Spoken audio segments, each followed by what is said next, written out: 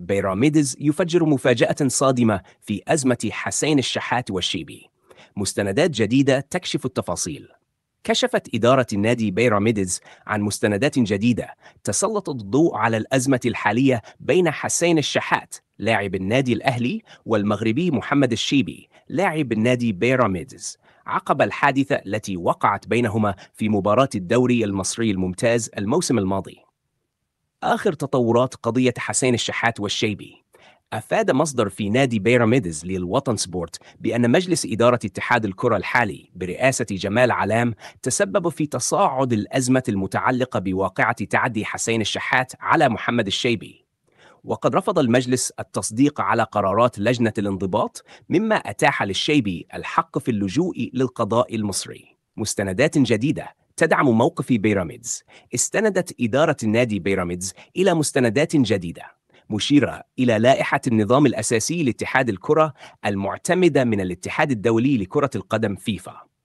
أوضحت مستندات أن المادة رقم 15 المتعلقة بقرارات لجنة الانضباط تنص على أن القرارات تصبح صحيحة بموافقة الأغلبية المطلقة لأعضاء اللجنة الحاضرين.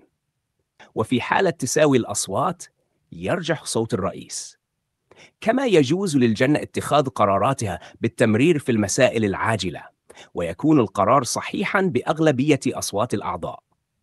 تفاصيل كواليس جديدة في قضية حسين الشحات والشيبي وتنص المادة رقم 16 على أن قرارات لجنة الانضباط تكون واجبة النفاذ فور إعلانها للمعنيين. ويعتبر الإعلام صحيحا إذا تم بواسطة البريد الإلكتروني الفاكس. البريد المسجل أو التسليم الشخصي. أما المادة رقم 30 فتوضح أن عدم تنفيذ القرارات الصادرة عن لجان الاتحاد في الوقت المحدد يعرض الشخص الطبيعي لعقوبة المنع من أي نشاط يتعلق بكرة القدم بينما تتعرض الأندية لعقوبات مثل خصم النقاط أو الهبوط إلى القسم الأدنى.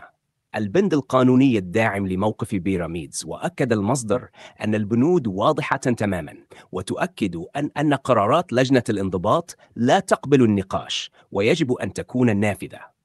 وأوضح أن اتحاد الكرة ليس له الحق في رفض هذه القرارات باعتبارها صادرة عن لجنة قضائية مستقلة. بهذا الشكل تظهر المستندات الجديدة من إدارة بيراميدز تفاصيل دقيقا ومهمة. تعزز موقف النادي وتوضح أن قرارات لجنة الانضباط يجب أن تكون ملزمة وفورية مما يفتح الباب أمام محمد الشيبي لاتخاذ خطوات قانونية للحصول على حقه.